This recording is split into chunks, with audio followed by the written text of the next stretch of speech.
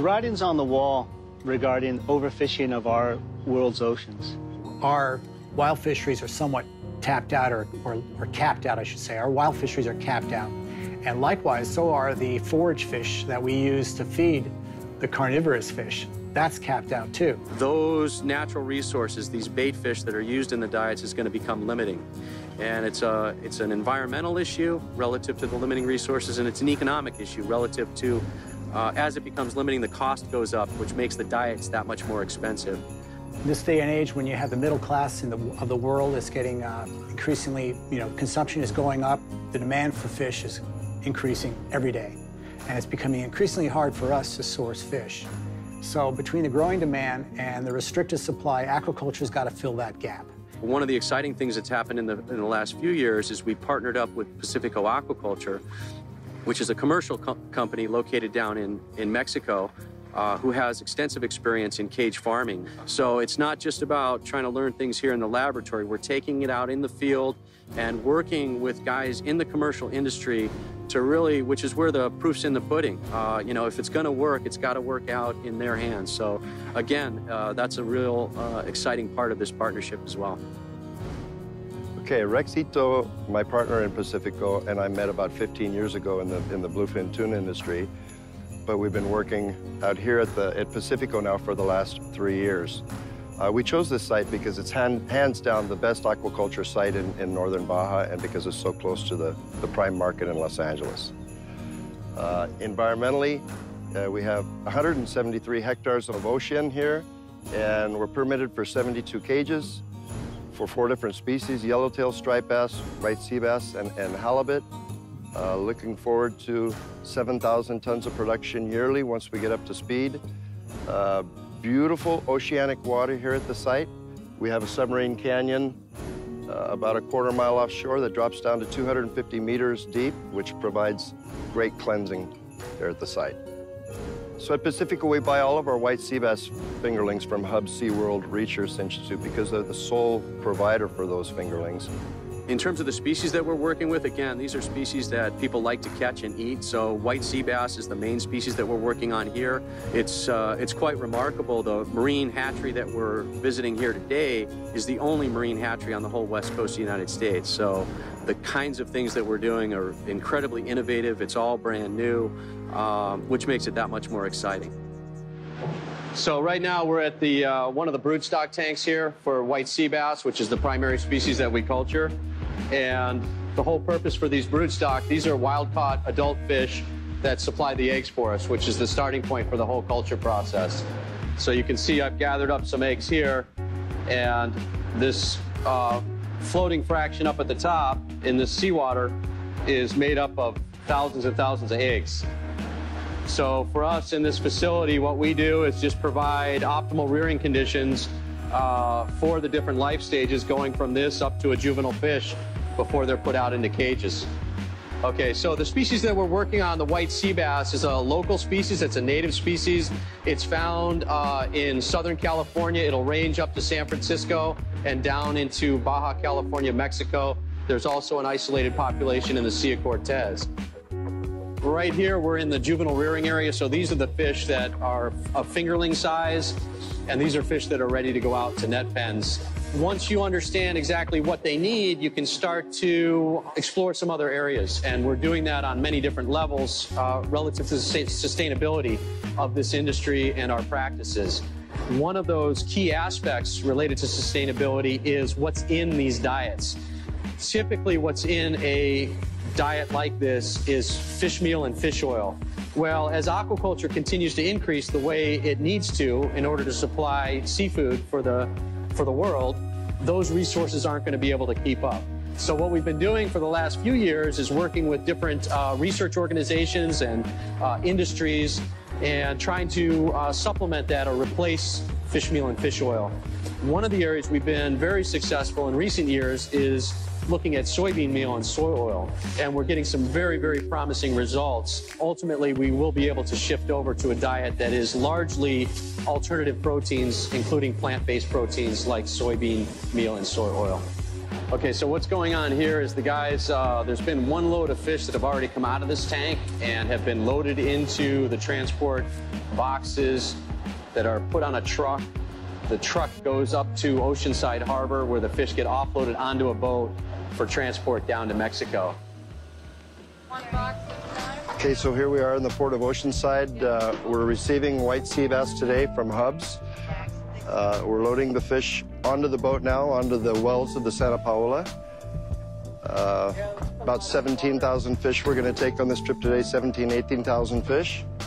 The, the wells of the boat will load to a density of about 16, 17 kilos per cubic meter, so it'll be a light load for us.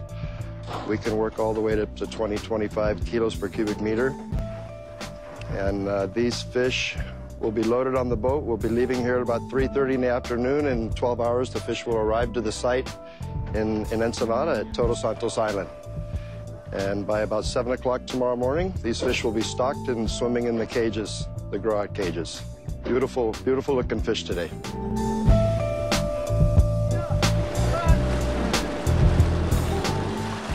Patricio, good.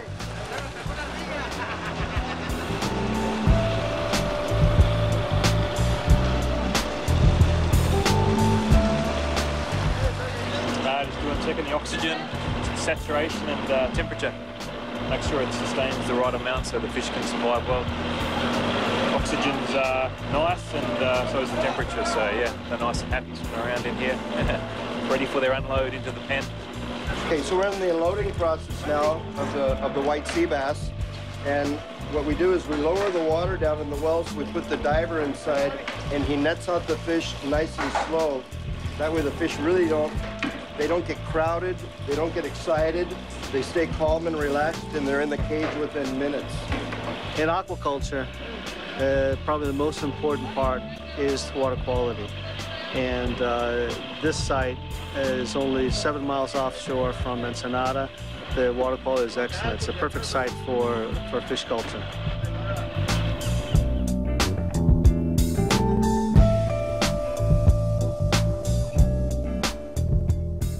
So the particular species that we're working with here at the, at the, at the site in Pacifico, striped bass and white sea bass, are very efficient growers.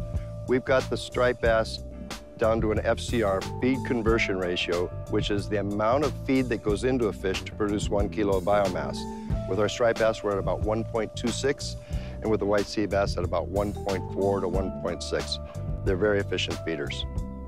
As in any fish farm, feed is about 50% of our budget, so it's critical for Pacifico, working with the American Soybean Association to find economically viable feeds, but at the same time environmentally responsible feeds. For the past six months, we've been working on obtaining our certification for best aquaculture practices. We've just received that, uh, which indicates that we're doing a responsible, sustainable approach to aquaculture and minimizing our dependency on fish meal and fish oil.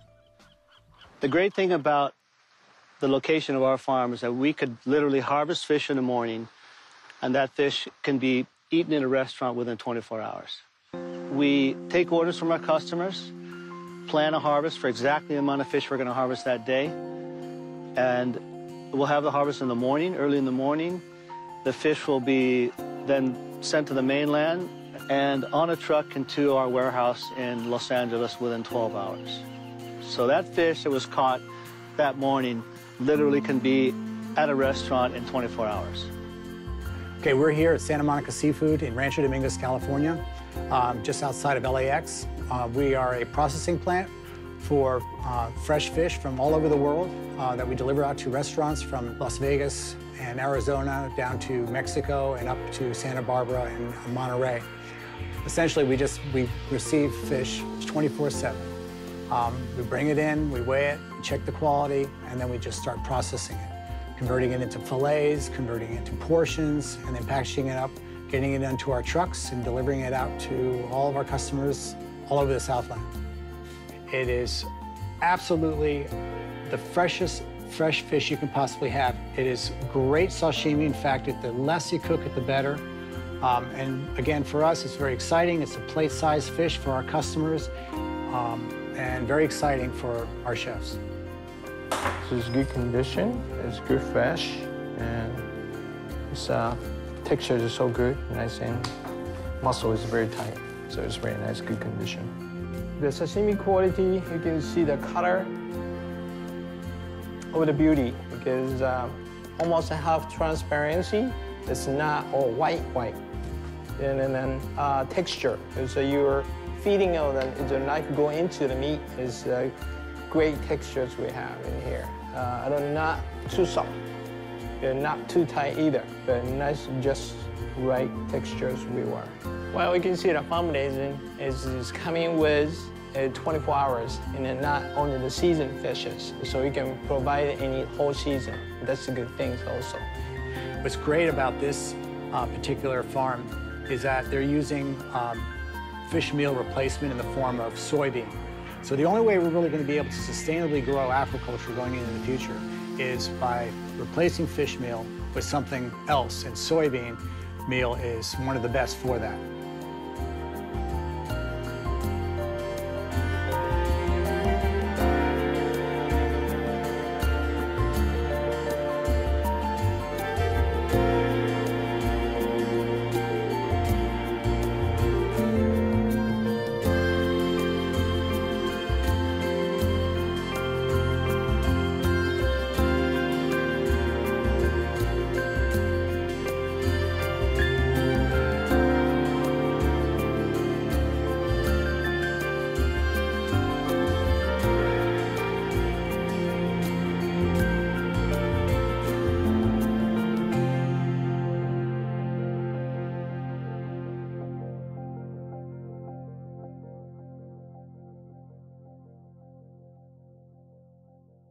So you think we have a winner there? Shouldn't be, shouldn't be.